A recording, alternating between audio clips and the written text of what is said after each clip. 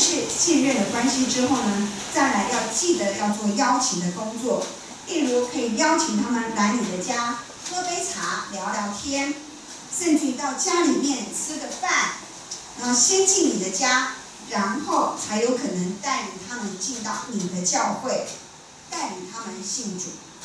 第四，当我们自己做好了设定目标、祷告、建立关系之后，我们还可以做什么呢？我们大概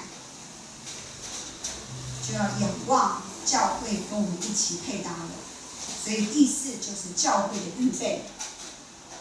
弟兄姐妹做了你们能够做的，教会也应当有相当的配套措施。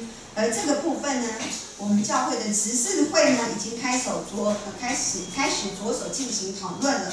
我们可以举行茶会或者是餐会，我们可以激动的，可以非常呃，真的是呃呃密集的都无所谓，好来举举行茶会跟餐会，或者我们开办合适你亲人、你家人要上的课程，无论是动态的。乐器啦、编织啦、插花啦这些动态的，或者是静态的啊的课程都可以。我们也可以开办讲座，哦，或者是读书会。总之，教会应当成为弟兄姐妹的后盾，预备做各样的福音预工。就让我们一起齐心的弟兄姐妹，你做你们的教会这边做教会的，我们一起齐心为人灵魂得救而努力。尽心，新约雅各书五章十九到二十节那里说到：你们中间若有迷失真道的，有人使他回转，这人该知道，叫一个罪人回转，便是救一个灵魂不死，并且遮掩了许多的罪，这是何等要紧的事情！要是我们没有向人传福音的经历，如果你从来没有跟任何一个人传过福音，那岂不是一件相当羞愧的事事情？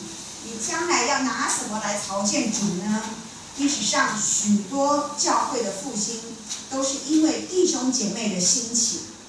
历史上，我们打开历史，教会历史，我们知道很多教会的复兴，都不是传道人的复兴，不是执事会的复兴，乃是弟兄姐妹的复兴。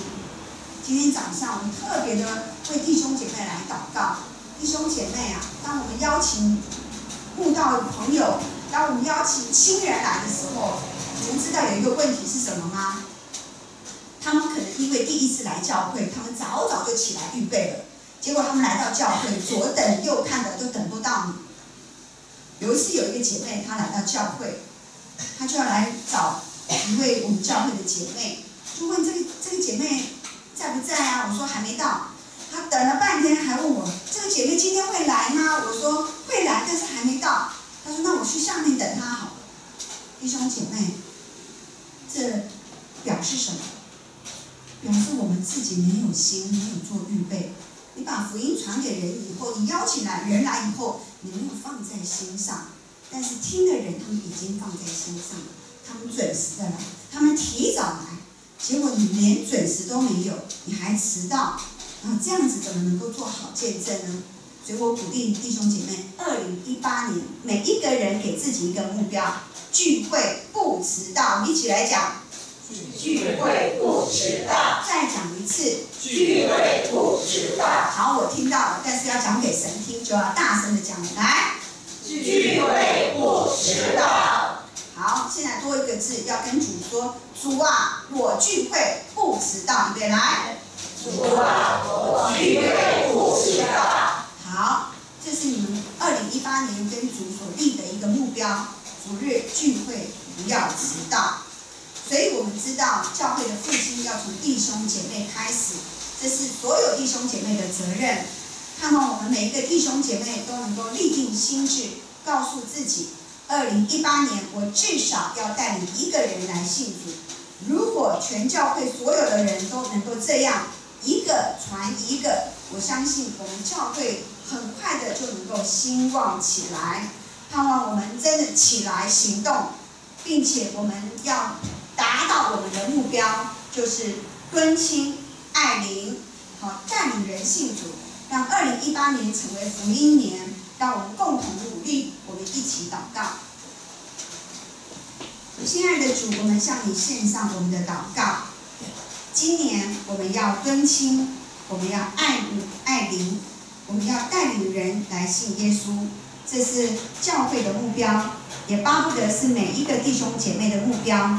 求主帮助我们的弟兄姐妹，让我们在不断的祷告当中，我们领出五个名单，并且我们积极的、殷勤的为这五个名单、五个未信的家人、亲人以及我们的邻居来祷告，使他们能够借着我们的祷告，圣灵在他们心里面动工，好让他们在神你自己预备的时候、满足的日子当中，他们能够蒙恩得救。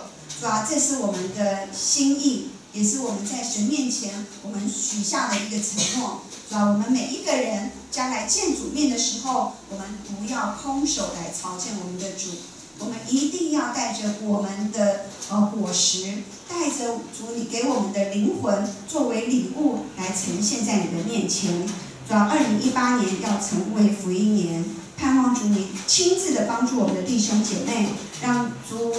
主呃，主内的弟兄姐妹能够一起的来努力，呃，一起的努力，使我们能够一起的达到这个目标。二零一八年，至少我们每一个人能够结一个果子，我们每一个人能够带领一个人进到教会。我们这样的祷告，靠耶稣基督的名，阿门。